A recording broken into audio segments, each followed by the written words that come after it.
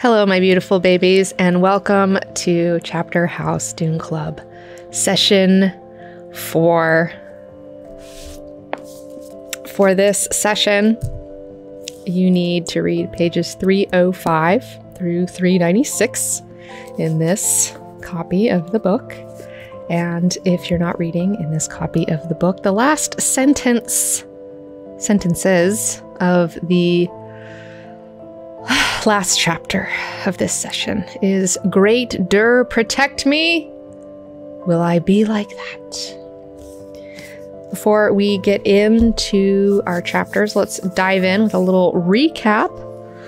Confrontations are abound in session four.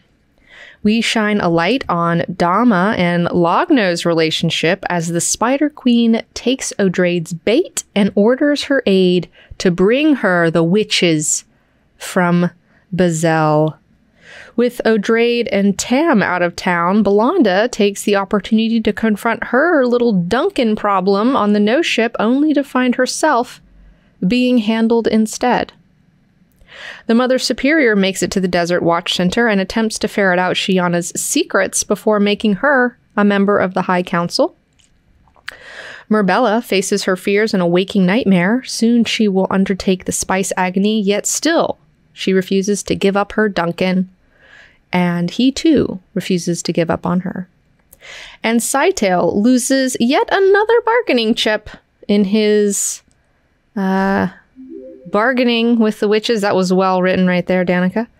When Sheeana enters with a brand new baby sandworm in tow. Uh, in the final confrontation, Murbella confronts Odrade, refusing to work on Scytale. And most importantly, she will not give up her Duncan. All right. Thank you, Just Bluefish, for subscribing. Appreciate it. All right. So here we go. Chapter 26 Guldur be blessed. The Spider Queen is living her best life in the heart of her web on Junction.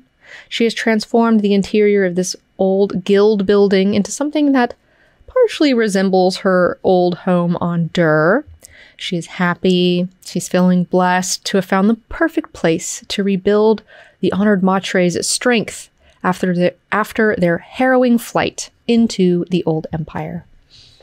Dama has heard through her spies that the witch stationed at Buzzell has returned and is delighted, thinking Dortujla has come back to Buzzell because she had been refused sanctuary by the supreme witch the time has come, and she commands Logno to bring that old witch and all of her attendants to her and begin starving those futars.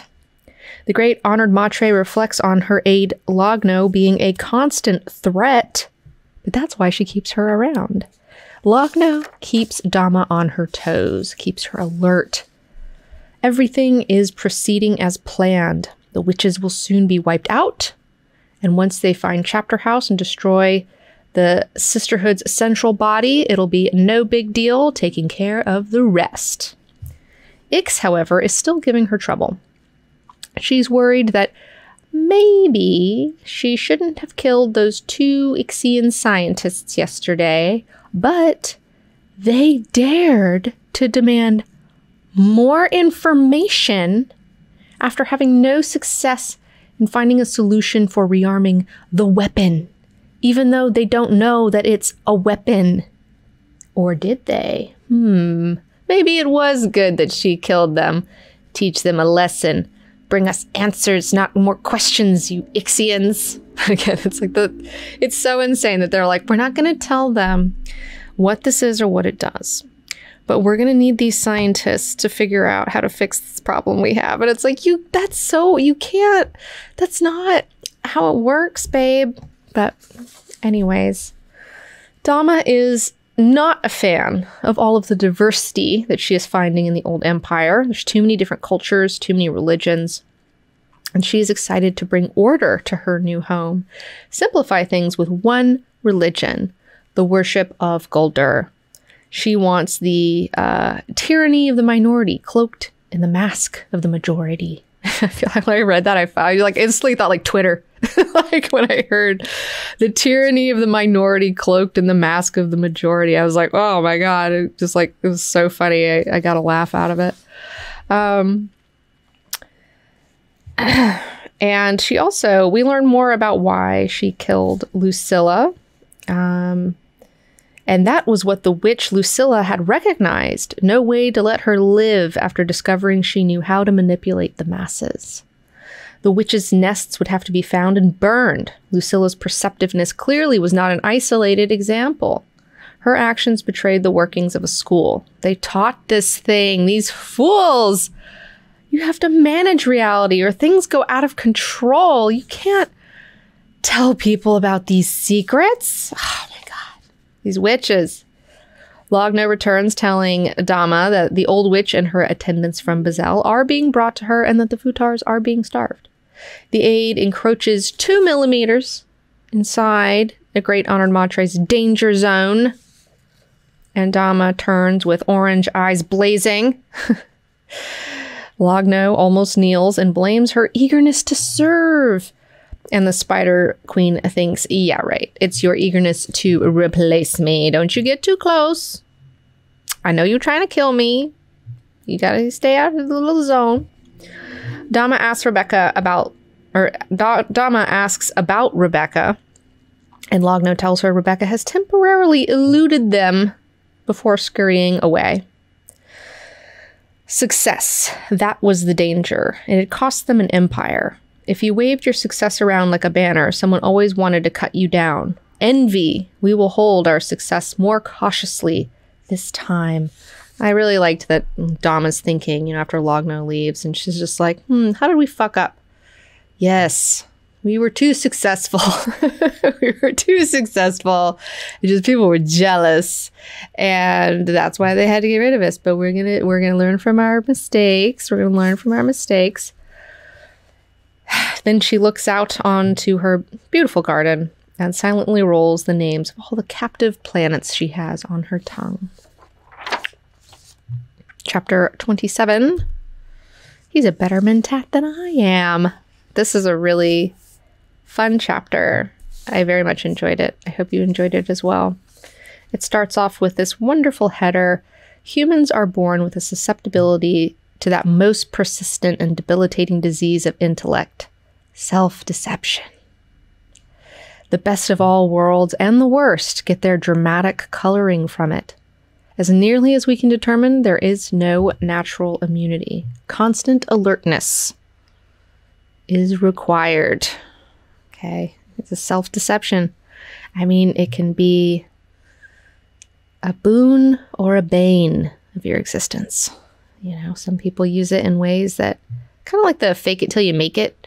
You can use self deception in a way that you can kind of like deceive yourself until you're actually doing it. But then at the same time, there are people who they fake it and then they never make it and then it's like everything comes crumbling down you know there's like there's a lot of stuff that you got to be careful with the old self-deception the old denial um so when mother superior is away the Bellonda comes out to play as soon as Odrade leaves bell as soon as Odrade leaves, Bell heads directly for the nose ship to take care of this damn dangerous Duncan, Idaho. Dar has even once admitted to Bell that her affection for the Ghola influences her decisions, and she is like, hell no, this Ghola's gotta go. She finds him alone at his console, and he says to her, Hello, Bell. I've been expecting you. He presses a button, and young Teg enters the room and stands there, staring at her. Bell goes and she has to schlep a chair from Idaho's sleeping chambers and seats herself opposite this rival mentat. He explains that he knew she was coming when Odrade called and told him that she was off to see Sheeana. I knew you'd waste no time getting to me when she was gone. Bell enters Mentat mode for this confrontation. Idaho says that she's known that she's wanted to kill him for a long time. And she's like, Am I that transparent? It's like, yes, Bell, you are. He knows her plan was to come start some shit with him and then bait him into a fight to create the illusion and an excuse for self defense so that she could murder him while also keeping her hands clean. Rather than have Murbella here to protect him, he's chosen Teg because A, he doesn't want to put Murbella in harm's way, even though she could probably destroy Belle. She doesn't, you know, he's like, it's my pregnant baby, it's my pregnant wife, like, she don't need to be here. And B, if Teg witnessed Belle kill Duncan, then he's not going to serve the Bene Gesserit. And besides that, who's going to restore his memories if Duncan is killed? This would throw a major wrench in their plans to survive the Honored Matres. Teg is curious as to why Bell has come to kill Duncan, uh, the man who would restore his memories. And Idaho explains to Bell that they need each other. Uh, he knows that there is anarchy within the sisterhood and disagreement within the highest councils. Belle tries to deny it, but Duncan calls her out. You're a hypocrite, Belle. And this barb hits deep hits her real deep, enough to produce an involuntary movement on her part, and deep enough to terrify her of this opponent. And it hits her so deeply because it is true. Belle is going on and on about how the sisterhood isn't in chaos, uh, but then she's literally come here against Odrade's wishes to kill this Mentat. So it's like, bro, what are you talking about? like, like, oh, oh, the sisterhoods, oh, we're fine, everything's good, and then it's like you're getting ready to betray the Mother Superior. Like you are a hypocrite, lady. And I find it marvelous that a Mentat and a Reverend Mother could be such a hypocrite. Teg asks if they are fighting. Duncan says, Yes, we're fighting. and Belle is like, What the fuck is happening right now? My plan has gone totally sideways. Duncan continues with his offense, asking the old woman questions like, Why do your sisters tolerate you? Are you a necessary evil? Are you a source of valuable data and occasional good advice? Could it be that you strengthen your sisters? Weak links create place create places others must reinforce, and that would strengthen those others. You came with criminal disobedience in mind, a little drama for the calm eyes, proving you had no other choice. As bummed as she is at his insults, he finds that all this is restoring her mentat abilities. Idaho continues telling her that he is deep into the Bene Gesserit's problem, and that they need his imagination, his inventiveness, the things that kept him alive in the face of Leto's wrath. Because remember, he worked with the tyrant for thousands of years. Without something new, you are doomed. He scoffs at their recent scattering, saying that they are only seeding the universe with enemies and feeding honored matres. The two discuss the Bene Gesserits previously the Bene Gesserits that were previously scattered and why they never returned until Bell starts asking the right questions. And now that he's got her on the right track, he ends their discussion by calling her by the most ancient Bene Gesserit, the most ancient term for Bene Gesserit council members, Mater Felicissima, which translates to most happy mother. Using this term produces a balancing effect on Belle, and she is in awe of his powers to correct her and wonders how he knew how to do all of this. Of course, the tyrant trained him thus, time and time again.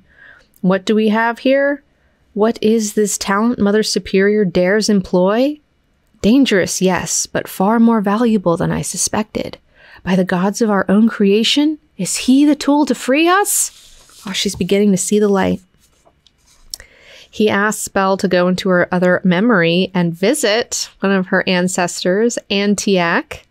Uh, and he had met her in one of his past lives when the tyrant sent him to Wallach 9 on a mission to suppress an outlawed Mentat school. And if you remember, Anteac was in God Emperor. She was the older uh, secret Mentat, Bene Gesserit sister that met with Leto during the festival at Onn. And she ended up working for him because he liked her and, and she helped him out on some stuff. And she ended up dying while leading the fish speaker invasion of Ix to capture good old Uncle Malky. He asks again, Where have your sisters gone, Bel? She is unsure and looks to his console and changes her position. It was wrong to block him from all of their data. She's like, damn.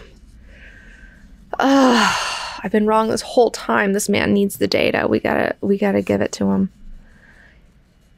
He challenges her to broaden her mind. Think um think that honored matres could be a relatively small group compared to what's potentially out there in the scattering.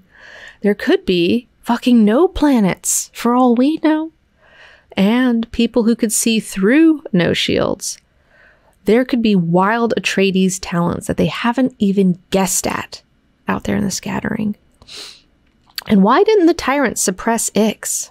Could there be cyborgs out there? What about Sheeana's immunity to sexual bonding? What about that? What about the Futars who supposedly hunt and kill honored matres? Murbella's never heard of them. What's going on with that? Bel finally sees Idaho's value. Priceless. And I might have killed him. The nearness of that error filled her with dismay. Everything she had learned about Idaho today increased his danger, but they had to live with it. For now. For now.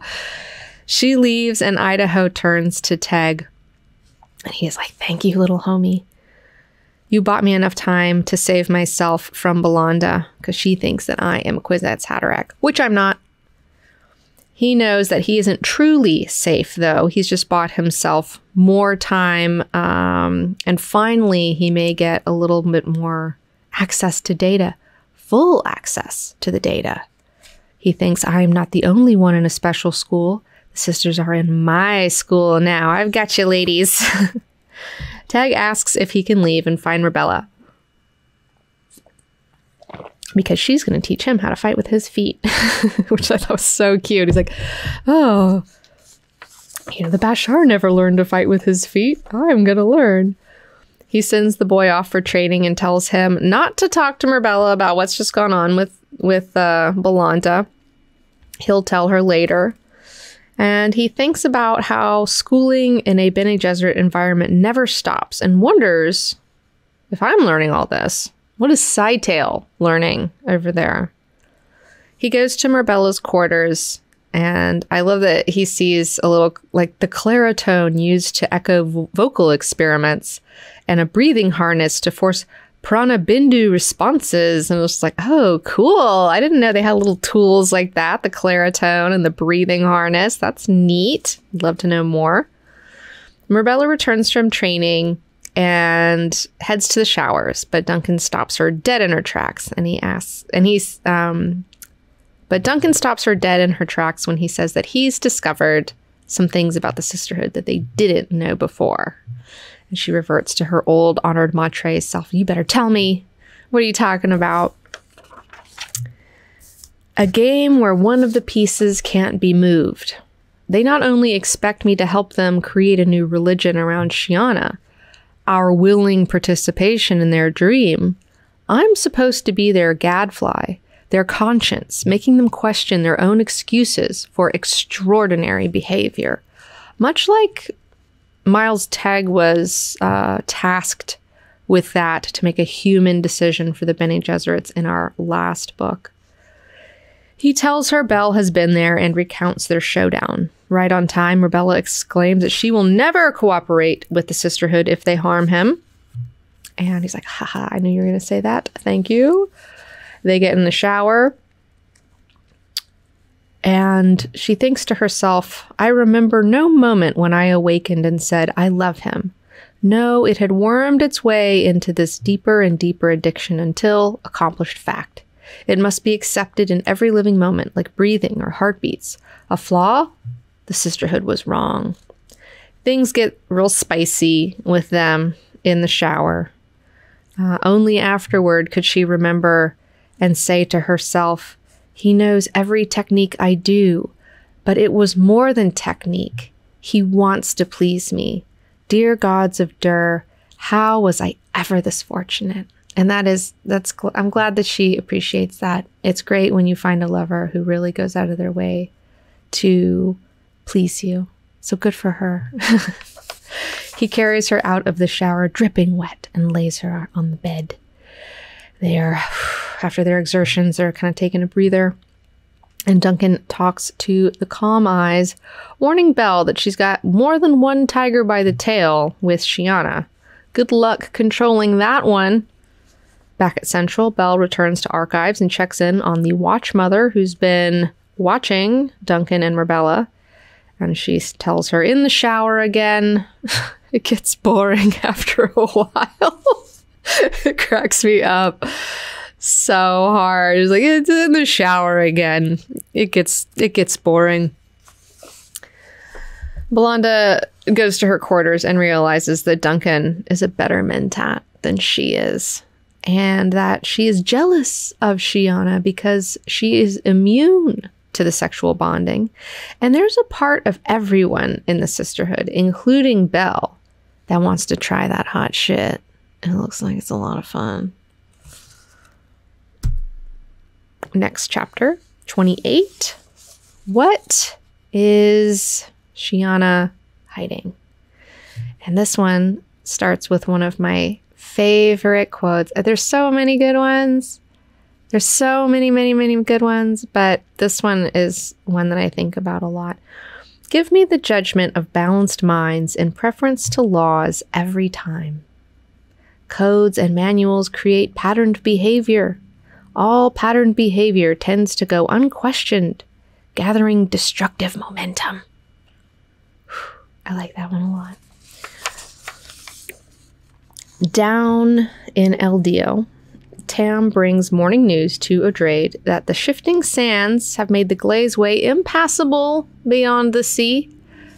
Fun fact I love that it's called a glazeway because when they make their roads, they like put down whatever it is, it's like the road stuff, but then they like hit it with like a burner that's like so hot that it just glazes this material and just fuses it together. And that's how they make a road. And that sounds really neat. Love that idea. Mother Superior shifts plans and commands that they travel to the observation terminal by ground car and have the Thopters meet them there. Oh, and tell Clairby that you are riding with me today, Tam. On their way down to the terminal, they pass the bare foundations of uprooted communities that the sands will cover completely soon. Things are really changing out there in the landscape. An acolyte asks if, it true, if it's true that they are already making spice harvesting equipment. Odrade confirms and asks Tam if she's ever walked on the open desert of Dune. The older woman hasn't, but assures Dar that her other memory tells her everything she needs to know about it. It's not the same Tam. You have to do it yourself. A very curious sensation on Dune, knowing a worm could come at any instant and consume you. Tam retorts, I've heard about your Dune exploit. Walking on that sort of desert changes you, Tam. Other memory becomes clearer. It's one thing to tap experiences of a Fremen ancestor. It's quite different walking there as a Fremen yourself, if only for a few hours. Tam says that I did not enjoy it. like, I don't want to do it. Drop it. I have no interest in going out on the sands. Dar. So much for Tam's venturesome spirit, and everyone in the car had seen her in a bad light word would spread, but now the shift to Sheeana on the council. So now the shift to Sheeana on the council would have an easier explanation. They arrive at the observation terminal, the edge of the desert where the sands are creeping in a silent war against the greenery. And while they wait for the Thopters, Odrade goes over a request from Weather and approves it, thinking, Yesterday, did I decide to phase out the sea? Only yesterday? What a big decision. Geez. I decided to phase out the sea. It's a lot. She's caught in a vortex of thoughts, the idea of continuity of people and their artifacts.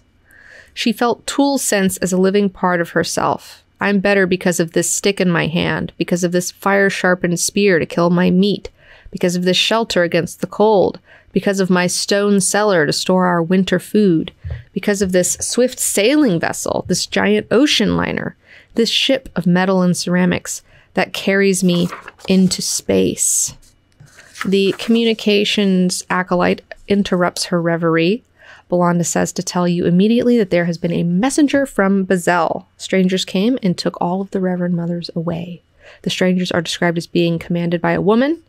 The messenger said that she had the look of an honored matre, but was not wearing one of their robes. The messenger is a first stage acolyte. She came in the small nose ship following explicit orders from Dortujla. And Dar's like, Yay, it's happening. They've taken the bait. Tell Bell that acolyte must not be allowed to leave. Dar calls Bell. Determine if that messenger acolyte is ready for the agony. Bell's like, She is. Then see to it. Perhaps she can be our messenger. Already have. Is she very resourceful? Very. Oh, and I want Duncan to have an open link with archives. Did that this morning. And it's like, she's like, holy shit, like, who is this lady? What has happened to Bellonda? This contact with Duncan is certainly having an effect. Bellonda tells Odrade to tell Tam that she was right. Very well, Bel. I couldn't be more satisfied with the way that you are handling matters. After the way you've handled me, how could I fail? Smiling, Bel hangs up. So cute. Oh, Bel is finally on board. I love that Bel is finally on board. Bitchy Bel. She's she's ready to be a part of the team. We love it. We love to see it. Makes me happy.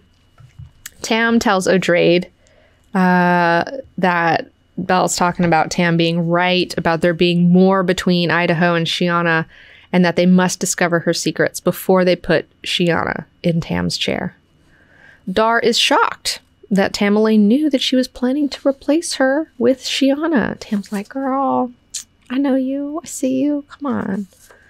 When the proctors voted, um, Tam tells uh, Odrade that when the proctors voted, whether they're voting to keep her or get rid of her, it was your creativity that worked for you. Inspired is the way one of your defenders put it.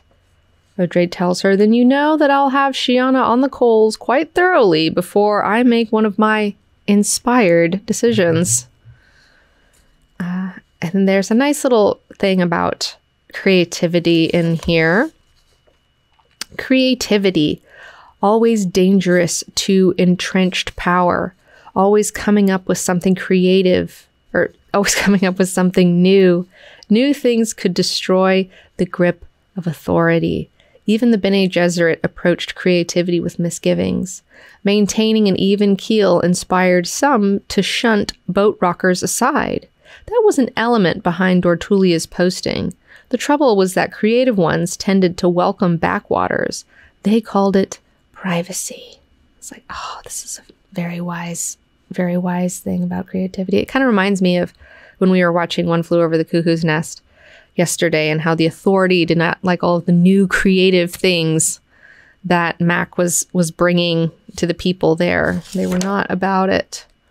Um, the Thopters arrive and the sisters take to the skies. In the silence, Odrade thinks on how they must think of Murbella as a sister not that their captive honored matre was an incurable failure, but that she was a misfit and undergoing the deep training at a very late age. Mother Superior takes a nap until they arrive at their destination, the Desert Watch Center. She goes uh, to her guest quarters on the ninth floor below Sheeana's penthouse at the top. Odrade prepares herself for this encounter, opening her mind, shedding her preconceptions. Sheeana returns from the desert and asks for the Mother Superior to meet her in her upper quarters. Dar goes upstairs and checks out Sheeana's place before her student's arrival. There is a drawing of a sandworm in black and white with a tiny robed human figure in the foreground on the end wall. Struck by Sheeana's deep impression of nature uh, that is exhibited in her rendering, she guesses at what else this drawing says about the artist who made it. Odrade hears Sheeana at the doorway, peering around the door before entering the Mother Superior's presence. Odrade thinks to herself, You often thought of her as quiet little Sheeana. She was not always quiet, nor was she small, but the label stuck. She was not even mousy, but frequently like a rodent waiting at the edge of a field for the farmer to leave. Then the mouse would come darting out to glean fallen grains. I, I, I was like, I really related to that quote. I was like, yes. I feel like too a rodent waiting at the edge of the field for the farmer to leave so I can get my little grains. I totally I, I um, resonated with that. Sheeana speaks first. We've been apart too long, Mother Superior. Odrade senses candor and concealment. Sheeana knows that this is a confrontation and that her only defense is the truth. Mother Superior gets the impression that her student wants to give her, her old student wants to give her a hug. She remembers Tam's warning about Sheeana. She is the she is one of those who keeps herself to herself. Remember Sister Xuangyu? Like that one, but better at it. Sheeana knows where she is going. We'll have to watch her carefully. Atreides' blood, you know. Odrade speaks. Indeed, this visit is long overdue, Sheeana. And the girl responds with the old BG placid. Bene Gesserit placid. It is a face that is just so fucking calm that it acts as a mask to cover anything that's going on beneath the surface. This was not just a barrier, it was a nothing. The woman instantly realizes her mistake, breaks the mask. I was like, that made you look really suspicious, Sheeana. What are you doing? Why are you hitting her with the BG Placid? You can't do that. She laughs and gambles it all on the truth. It's about the hand talk with Duncan, right? Is that why you're here? Is this what we're doing? Odrade wants the details. Sheeana explains that Duncan wants a woman on the inside to rescue them if Honored Matre's attack, and information about the Bene Gesserit's intentions and details on what they are doing to meet the Honored Matre threat. I've told them everything that I could. I am his friend at court. Unlike Tam and Bel, Dar knows that she's still hiding something. She admonishes her student for misjudging Bel and asks her if she thinks that she can work with the Mentat mother. Sheeana is confused. Work with Bel how? On that stupid missionaria project?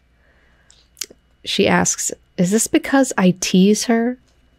Tease, is that what you do, Sheeana? An appropriate word, reshaped by going against the natural inclination Sheeana thinks to herself, "Oh goodness, I shouldn't have said that. Oh, I'm giving myself too much away here. I'm doing a, I'm doing a lot of reshaping against natural inclinations in myself. Like, oh Lord." Odrade is alerted by these words and looks over at the black mound of plaz in the corner. It drank vision. She kept probing for coherence, something that spoke to her. Nothing responded, and that's its purpose. Sheeana notices Drade's attention on the sculpture and tells her it's called Void. What do you think? The Mother Superior is internally bummed, hoping Sheeana did not sculpt it because the one who did this has gone where I cannot follow. And Odrade is so alarmed by this sculpture because, unlike the Van Gogh, which earlier there was a header about art needing to be anchored in life, and we need somewhere for our plugs to connect. And like void is not anchored in life, it is rooted in nothingness. And what is this wild nothingness welling up in the artist who made it? Void is displaying powerful hidden emotions, feelings of disconnection from life, deep seated discontent. not looking good. The Mother Superior cuts to the chase. I have a problem with you, Sheeana. You alarm some sisters around me. Sheeana is alarm is alarming her sisters because A, she's the youngest ever to survive the agony, which was a wild stunt on her part. She was advised not to do it, did it anyways. And B, because of her elaborate, detailed accounts of her seductions at dinner that was spicing more than the food. I, like, I like that. Spicing more than the food for the other acolytes. Particularly, it was heard. Uh, she it, she was heard saying, "I used the let him misbehave method." Very effective with men who think they're leading you down the garden path. I was like, whoa, Sheeana. She really is a little seductress. And C, they can all sense this wildness in her that they have not found. There's something going on in there. Uh, bes- and besides talking to worms, what other shit is lurking in her Atreides genetics? Sheeana is relieved when they are interrupted by an acolyte and takes her leave to check out some scans. Odrade remains in Sheeana's quarters to wait, and while she is looking around, she notices a hot young stud sunbathing nude on a rooftop. How can he be so idle? Is he a night worker? Sheeana runs back in. Odrade, they found a spice mess 30 clicks northeast of us. Small but compact, and I have set a round the clock watch on it. Odrade once again cuts to the chase. I asked you earlier, Sheeana, if you would work with Bel. It was an important question. Tam is getting very old and must be replaced soon. There must be a vote, of course, though. So before it's, you know, you know, you can't just have it. And uh, Sheeana is like, me? me? Odrade's like, my first choice. You are my first choice. And partially it's because she just wants to be able to keep an eye on her old student. But what about the missionaries' plan? What about my work here in the desert? Well, I can see that you're shocked. Um, I get it. I need to know, Sheeana, what really interests you these days. Again, Sheeana, I gotta tell the truth, says making sure the desert grows well. And my sex life, of course. You saw that young man on the roof, Trebo. He's a new one Duncan sent me for polishing. Odrade accepts this answer and leaves. Uh, and Sheeana is glad that she did not have to fall back on deeper truths. That she's uh, been discussing the possibility of imprinting Teg to restore his memories. So it's like, we're okay. So if she keeps going, I'll give her this. But she didn't have to do that. But if she had really kept going, the full confession would have been that she's found a way to reactivate the no ship and diffuse the mines. Sheeana does got some secrets. Yeah, limited knowledge. You can you can work at the desert on the weekends. Totally. Oh, all right. Uh, chapter twenty nine, witches do mysterious things. I know the fact that Sheeana has like three shells of half truth backups. totally, Estevan. Absolutely. I mean, they're truths. It's just not the whole truth. I wouldn't say it's a half truth. Well, I guess it's a half truth. I mean, it's the truth, but there are more truths that she's she got away with it this time. There's just so many confrontations in this session. I really, it's really interesting. I really like it. Murbella is having a nightmare. And this nightmare is so bad that it doesn't even stop when she wakes up. She's uh, surrounded by enormous predatory words that have teeth and claws. She's hoping that the sleeping Duncan beside her will wake her up, but no. His arm thrown across her legs only holds her tight within her sleep paralysis. Murbella begins to laugh uncontrollably waking her lover, who activates the glow globe and asking what her deal is.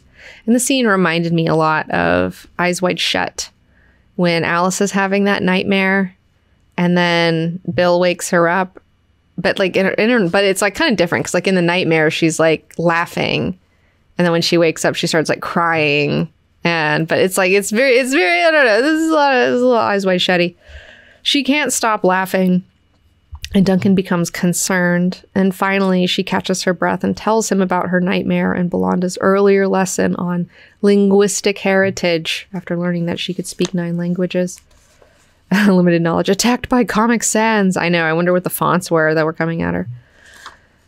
Duncan tells her that uh, what Belanda did to her was Zensunni, a very ancient technique. The sisters use it to rid you of trauma connections, words that ignite unconscious responses. Murbella tells him that she was warned by Honor Matre teachers that terrible things would happen if they ever fell into Zen Zensunni hands. Duncan brushes it off. I went through the same thing in Mentat training. It's like, it's, it's not a big deal, dude. They discuss the sisterhood's use of words as weapons or tools of control, and how she must learn this lesson before the sisters will trust her with deeper training. Only secretly, Duncan does not look forward to this because after she learns these tools of control, he feels like he will never be able to trust her again. Hmm, poor Duncan. Murbella keeps prodding at Duncan, arguing about patterns and discipline until she gets him until he gives up trying to go back to sleep. And he I like that he punches his pillow. He's like, "Okay, we're here. We're doing it. We're not going back to sleep. What do you want? What's eating at you?" They go back and forth about the Bashar's abilities. Murbella thinks that he's just another tool of violence, damning the Bene Gesserit, uh, to be just as self important as the honored Matres. Duncan defends uh, the Bashar and the Bene Gesserit. He reminds his lover of Miles Teg's Miles Teg's reputation for winning battles uh, without blood, and he teaches her that the self important are aligned with a death reality. So, honored matres are people who support no one but themselves, whereas the Bene Gesserit are aligned with a life reality. They support the web of all human life. Um, she asks Duncan then if he is a willing participant in the Bene Gesserit's dream, and he reluctantly admits that he is, surprising even himself. Their lovers' spat intensifies, and Murbella calls the Bene Gesserit out for their lies, their cheating, and their viciousness, especially how Bel is delighted that Duncan is set to cause uh, the Ghola Miles the same pain that the Bashar Miles inflicted upon him. Idaho tries to quell his lover by offering to disappoint Bel in this matter. But he's like, oh no, I shouldn't have said that. Oh, goodness. And Murbella is thrilled by this idea. Yes, we must disappoint her. Duncan manages to divert the conversation and they talk about the rumors swirling around Teg that he could move faster than the eye could see uh, before his death on Arrakis. Duncan dismisses these rumors as something that the Bashar um, started himself to throw people off. Murbella is not so sure. His lover questions him as to why he thinks Bel is such a hypocrite, but doesn't think Odrade is just as bad she trusts your loyalty to the Atreides.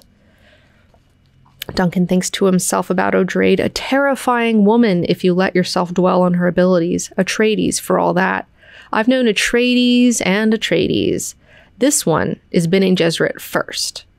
Teg's the Atreides ideal. He tells her, I am loyal to Atreides' honor. Okay, not to them, but to, to the Atreides' honor. Murbella bends close and whispers in his ear that she feels like she could kill any Bene Gesserit within her reach. And he is like, whoa, whoa, whoa, you, whoa, they can hear you. What are you doing right now? Like, what has set you off? Like, what is this? Finally, Murbella spills the beans. Odrade wants me to work on Scytale. And she says it was your idea. And by work on, she means use her honored matre skills to enslave him so that they can get what they need out of this fucker because he is just a pain in the ass. Um, and it's funny, it's like this is just like this is so real too. Like this is such a great example of an argument, especially I mean not necessarily between lovers, but especially between lovers where there's, you know, it just takes so long to get at the heart of the matter. Like, has this ever happened to you where somebody's arguing with you about stuff and then you just keep digging and you keep going and you finally get to like what they're actually upset about? And it just takes so long to get there. And you're just like, oh, you know, like it just, it takes a minute. You got to warm them up. Duncan, I mean, I'm sure I've, I've done the I've done the opposite as well. I've been the one who's who's uh you know been been hiding and beating around the bush too. I mean, we've all done it, but it's such a real thing. Duncan finds himself disgusted by the idea of Murbella sleeping with Scytale. And he denies that he ever suggested this particular course of action. All he suggested was that they needed to pry information out of him. And he asks her, Well, how do you feel about working on Scytale? I mean, it's like he, you know, he knows her previous background. I mean, he's she's slept with countless men and enslaved them. Like it's it's not like this is she's done this many, many times before. But she says that she is revolted. I love you and my body is to give you pleasure, Duncan. And he sees this look of love in her eyes the same look that the Lady Jessica gave to her Duke. This blind, unswerving love that the witches distrust so much. the two talk about the Bene Gesserit dream, and Duncan explains to her that it is, uh, in, in more colloquial terms, it's grow up humans. Stop, start acting like adults and not like angry children in the schoolyard. And he honestly believes that, you know, mommy does know best. Like the Bene Gesserit know what they're doing, and they're right. Is that how you really see them, even when you call them witches? It's a good word, Murbella. Witches do mysterious things. He admits that the witches do trick people into doing things that they want. And Murbella is disturbed by the Bene Gesserit levels of manipulation, creating poses and spouting words to get their desired response, trapping people. She sees. Oh, hold on. Goodness. Get out of here.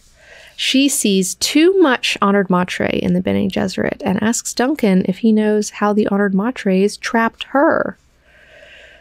There was a sweep. She was about three or four years old she was outside playing with her friends when there were explosions.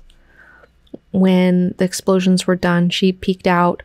She saw that her entire house had been destroyed. She does not know if her parents were killed or if they survived. Her mother, though, was a great beauty, and her father was a big, handsome man. And maybe, she can't remember for sure, but maybe he refused to succumb to an honored matre.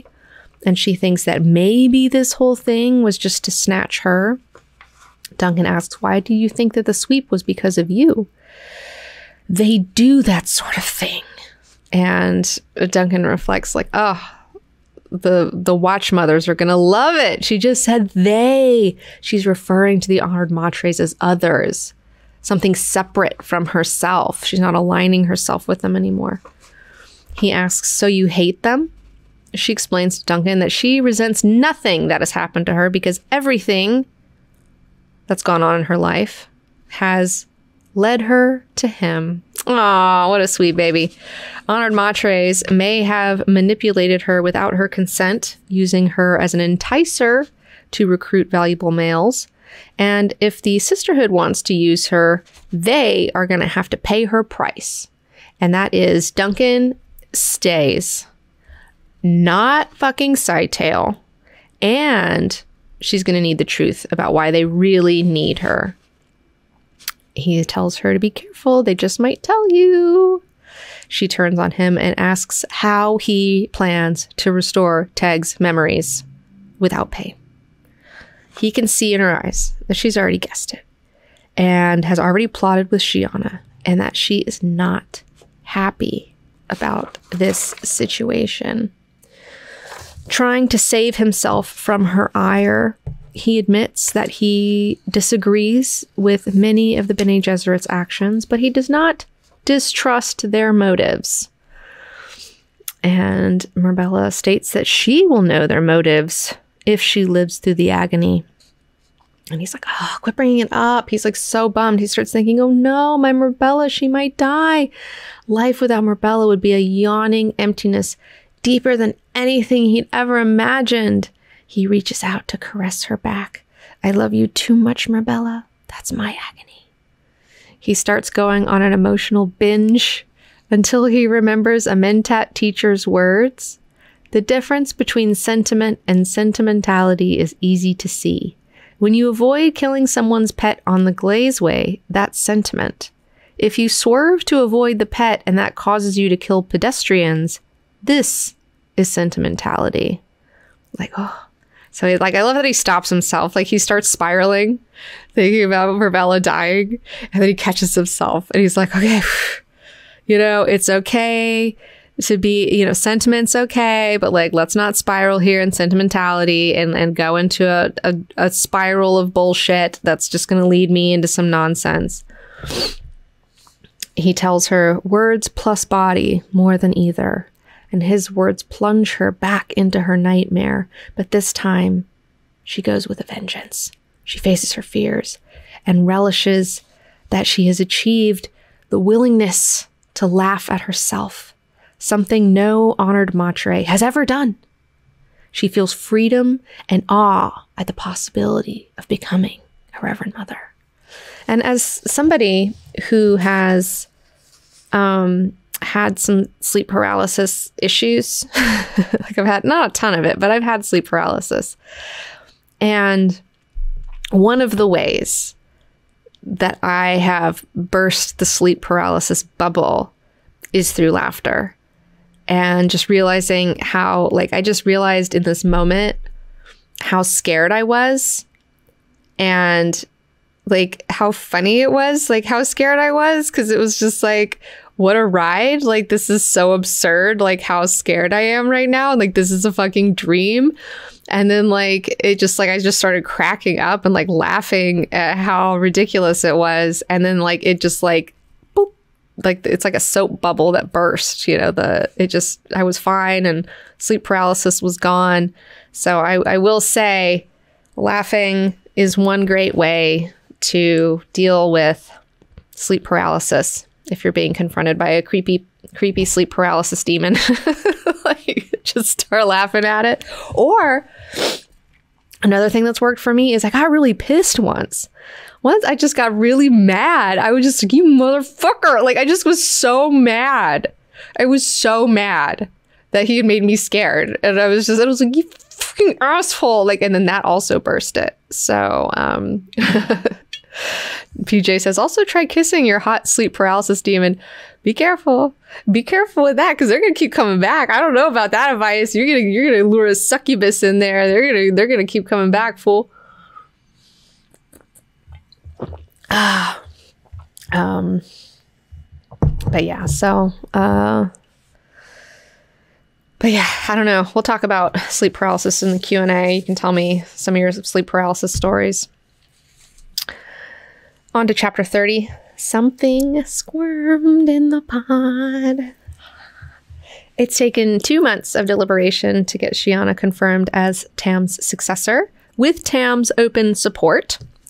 Bel delivers the news to Odrade that it's done. We finally confirmed Sheeana. It's good to go.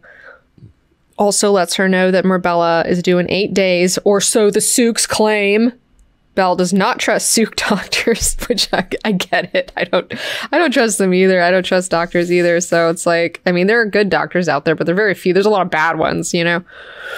And uh, also, there is still no word from Dortujla. Once Murbella recovers, and like when she gives birth and recovers, it is agony time and it's getting close. Bel wonders if they've discovered all of Sheeana's secrets. And could it be that she's just had qualms about imprinting a ghola of the Mother Superior's father? Not likely. I don't believe that. Uh, is Sheeana another flawed Reverend Mother? Possibly. The two women debate the merits of imprinting this child rather than using the pain method. Odrade likes the sexual imprinting method because the pain method might be too painful and could alienate him from them. And he might hate them for it because it's just like it's almost as bad as the agony. It's it's not cute. It's not fun. Bel likes the idea of using the imprinting method because then they'll be able to influence him. They got an imprinter who imprinted and then he'll be you know kind of favorable to the sisterhood after that further putting him under their control Odrade then goes to the no ship and takes Scytale out on one of their routine walks. But this time, she is taking him up to her workroom to bargain in more pleasant surroundings.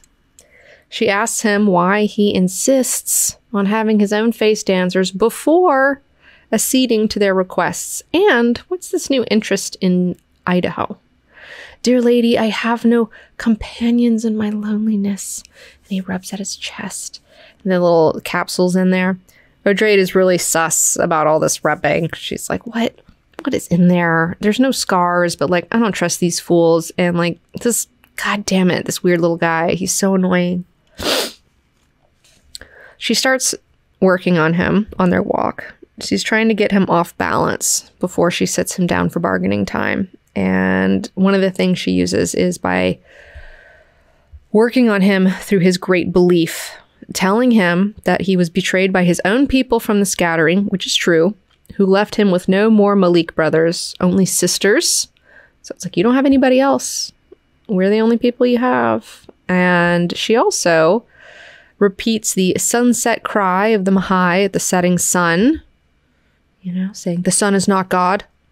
And you know his wa- his his faith is starting to waver a little bit. He's like, I know, I, I know these ladies are false. I know they're Powinda scum, but then you know they just keep they keep talking to me in my language.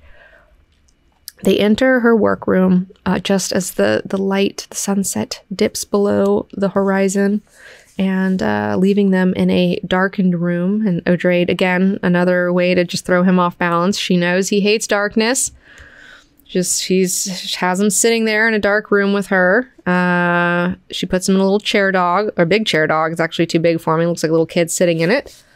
And then, you know, once she's got him freaked out a little bit, she turns on the globe globes and on cue, Tam is in there. She swishes to life and she stands two paces behind the little man, sending ominous vibrations his way. So now we're intimidating him. We got Tam over him, intimidating him. Odrade questions him on his escape, leaving his brothers behind to die. Uh, again, throwing him more off balance, being like, you know what? You escaped and you left all your brothers to die. That's cute. Why were you leaving Bandalong when the attackers came? Thinking of Bandalong makes him sick with grief, and he accuses Odrade of taking some of his cells and growing a ghola replacement she does not deny it. You think the sisters would let the last master end here, do you? He warns her that no Ghola of him will do anything that he would not do. Don't even try it. She says she understands and reminds him of the Bene Gesserit powers of truth sense. So it's like, you're, we know if you're lying right now, so we're going to keep talking. She continues to prod him and he admits that he was commanding a force of Khazadars and that they were searching for a herd of Futars for their defense, and that their scattered ones uh, had brought them Futars originally, but they would not produce in their tanks. And then the specimen died. There was only like two of them. Um, further, you know, she's having him essentially admit that they were fooled by their own people from the scattering. So just really driving that betrayal home, uh, making him, you know, really see it with his own words.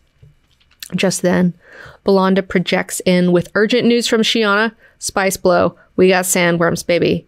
The hologram bell turns to Scytale and says, uh, You have lost another bargaining chip. We have our spice at last. Ha ha, loser. She leaves. Um, and Scytale thinks that this is a trick. You guys are just trying to trick me. I'm not going to fall for it until Sheeana enters towing a small suspensor pod in her wake, and inside there is a baby worm stretched out on a bed of golden sand. That's right. They did it. They got sandworms. We got baby sandworms. It's so exciting. The prophet. He thinks to himself, "Oh, the prophet is right there." And I, he's like, I don't know. Maybe this baby sandworm is like two and a half feet long. It's still got those little teeny, those little teeny teeth though in there, and the little fires you can see in their little mouth. Sheeana says thousands of them. They came to a spice blow as they always do. Scytale looks the most defeated that Odrade has ever seen him look. this poor guy. He's like, no, no, I'm a prisoner and now I have nothing. I, almost nothing, not nothing, nothing, but really that's the real thing. Like they, the Bene Gesserit wanted to know how to make spice with the tanks and now they don't need his fucking tanks to make spice. God damn it. Sheeana opens the pod and holds the little worm like an infant and it's obvious that she still controls them. Sigh of relief. Sheeana's still got control over the worms. Odrade asks the little Tleilaxu master, Do you still serve the prophet, Scytale? Because there he is. Right there. Right there. While you were on your selfish, foolish little mission, we were serving the prophet. We rescued the last revenant and brought him here, and this planet will become another dune Oh, he's sweating it. He asks for more time to think. About what, Scytale? How there can be how can there be anything for you to reconsider? This is our prophet. You say you serve the great belief, then serve it. Scytale knows the sisterhood no longer needs him, but he still needs them. Odrade explains it's a whole new universe out there that the Bene Gesserit are scattering pods of rage against the honored matres. People are longing for the old days of Reverend Mothers. And what? Think of what would happen if we loosed that rage in a jihad. If you were to escape, where, were your, where would you go? Your own scattered ones don't want you. We are partners, here by necessity, if not by shared belief. Times are changing. He offers to exchange knowledge of how to make the finest tanks, but insists on his own face dancer attendants and his own axolotl tanks. Odrade says she will consider it and gives him time to think. She dismisses him back to the no ship. Bel comes in and she goes over the interaction as a mentat along with Odrade and Tam and Sheeana, and they discuss seeking allies from the scattering Bel comes to the prime projection that the handlers who created the futars want to control the Bene Gesserit. Uh, there it was. They faced it with all of its perils. It came down to people, as it always did. Odrade, Tam, Bel, and Sheeana are working beautifully together. And Dara thinks that if they can just get Murbella as a sister and get a restored Bashar, they might have a fighting chance at survival. But then her good feelings are interrupted when she receives word that Clairby, her driver, has just been in a thopter crash and is mortally wounded unless they add a bunch of mechanical parts. Fuck. Do we cyborg him? Like, where do we draw the line? First, we're dealing axolotl tanks now we're going to be cyborging people. Like, but we're already spread so thin. And like necessity, we can't lose another guy. And, but necessity, I mean, it's like, then, then, you know, you start doing this now. And then, like, are we going to make more fucking cyborgs? Like, ah. Odrade really agonizes over this decision. But in the end, she tells the doctors, cyborg him. Do it. I love cyborg him. I like that it's used as a verb. Cyborg could cyborg somebody.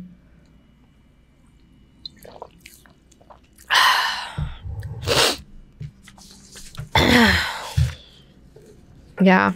Esteban says, I love Bellonda's grunt when Odrade assents to it.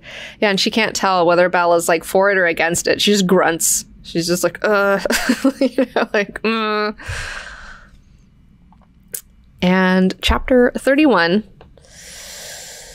there are things I won't do. Odrade is at the no ship and finds a super pregnant Murbella. Still in those leotards. Man, they always got her in those leotards. You know, she's always in those leotards. He loves leotards. Frank Herbert is all about it. Unitards, leotards, he just want he loves it. She is training with a mech, and Odrade is impressed by the beauty of Murbella's vitality, of the health that's just glowing through this woman. And it's not just because she's pregnant. It's like that like that was one of the first things Lucilla recognized. It's just like the the health just just glowing through this woman's skin. And uh and she's also, even though she's super pregnant, she's still so graceful fighting this mech. And she notices that Murbella has fucked with the circuits of the mech to stimu- to simulate anger in it ultra dangerous. And on top of that, Murbella greets the Reverend Mother uh, in the middle of training. Even crazier, it's like, girl, you're. This reminds me of the Alia scene when Alia was like fighting the little sword mech thing, and then like she's like going too hard, and then Stilgar sees her, and she's like crazy and naked and wet from a bath, and Stilgar's like, "We got to get her laid." it totally reminds me of that scene. Uh, Anodre turns the mech off and asks why she changed the circuitry. The two women go into a philosophical banter, and Odrade is delighted when she hears Murbella speak about her excitement at being challenged to do more than she ever thought possible. Mother Superior thinks to herself, Mens sana in corpore sano. We have her at last, which means a healthy mind in a healthy body. She got a healthy body, but now we got her thinking, we got her thinking real good. She disguises her elation and continues to question the girl. Is she willing to pay the price?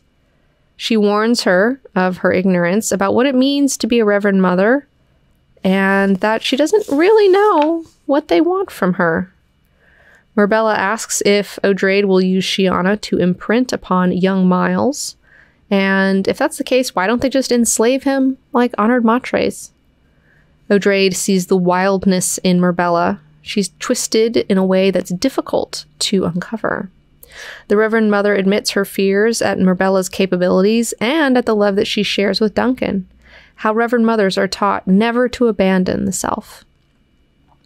Murbella accuses her of trying to make her choose between the sisterhood or her Duncan and announces that there are things that she will not do.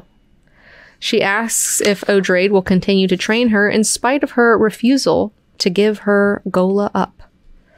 Odrade leaves the choice up in the air for Murbella to decide, um, but secretly, Odrade feels that the Bene Gesserit must change their ways, and this woman could be the one to guide them into that change.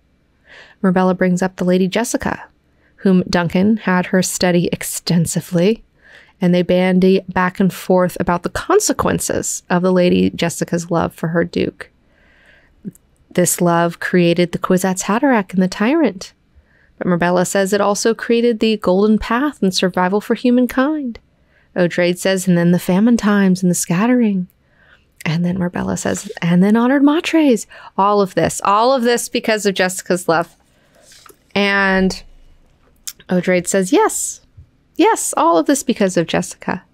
But in the end, she returned to the Bene Gesserit as a teacher of acolytes and as served as an example of what happens when you defy us. And again, she's thinking to herself, Defy us, Murbella, please. But just do it more skillfully than Jessica did. Murbella admits that sometimes you repel me, but you know that I want what you have all your cool skills. You got so many cool skills. Odrade changes the subject and asks if Murbella still refuses to work on Scytale. Let Sheeana do it. Well, will you coach her then?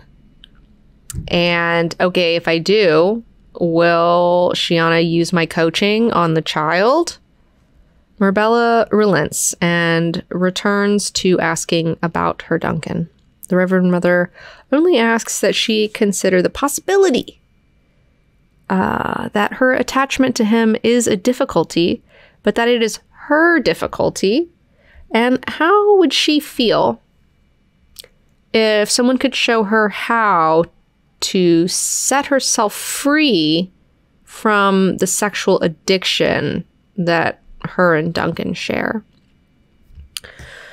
Murbella is surprised and says that she almost said that that would set her free. Murbella admits that she does not renounce her honored matre ways, but has grown beyond her former sisters, like sisters of childhood, playmates in a game that no longer interests her. The Bene Gesserit is all to a Reverend Mother. You will never be able to forget that. Prepare for advanced training until you meet the agony, live or die. So Drade is like, okay, just letting you know, you know. Bene Gesserit's all to Reverend Mother, so, you know, do what you want. Uh, and she also, uh, the rather, the mother superior also is like, send Sheeana in here to meet her new teacher. All right, we got to bring her in. Can't give this lady any time to reconsider what she's doing. We're going to start the training right now. Murbella is surprised that Odrade really does intend to work on the ghola child of her father. Odrade tells her, Think of him as Bashar Teg. That helps. Murbella thinks to herself, the Bene Gesserit is all to a Reverend Mother. And like it's like, oh, this is crazy, you know, like like this woman, this Reverend Mother, is willing A to create a ghola of her own dad, and then have an imprinter imprint upon him while he's still a child to awaken his memories and that's her dad you know? But but they're doing this because they've got to preserve themselves so that they can continue to try to preserve mankind you know? Like that's she's just like this is a lot and it, it hits her that like the Bene Gesserit really is all to a Reverend Mother that someone would be able to do this and um she thinks to herself great Dur protect me will I be like that all right. That's it for session four. So much confrontation. so much confrontation. For session five, oh shit. For session five, you need to read pages 597 through, no, 397 through 503 in this book. And uh, the last sentences of the last chapter of this session, session five, is they've already sent us a message, Tam, putting us in a second class hostelry, and I have responded. All right. Where did they go? What are they doing? We'll find out next session. All right, kids. That's it for today. Thank you for watching. Um, We'll be back next week with session five, uh, and now we're going to go to some Q and A here with our people live on Twitch, and for all of you out there on YouTube. Love you, and we'll see you next week. Mwah.